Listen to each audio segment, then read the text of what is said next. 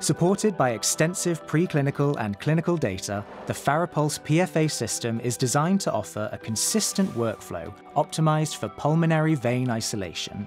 The FARAWAVE catheter is first deployed to basket configuration in the left atrium and positioned in the ostium. Two paired pulsed field applications are performed, each 2.5 seconds in duration, rotating the catheter between paired applications.